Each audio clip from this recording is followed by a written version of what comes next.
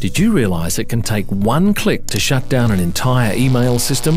When it comes to opening and interacting with suspicious email, it's always better to be safe than sorry. The best way to keep your inbox secure is to stay up to date with what email scams and viruses are being circulated. The more familiar you are with them, the more likely you are to recognize something suspicious that lands in your inbox. Read subject lines completely before opening an email.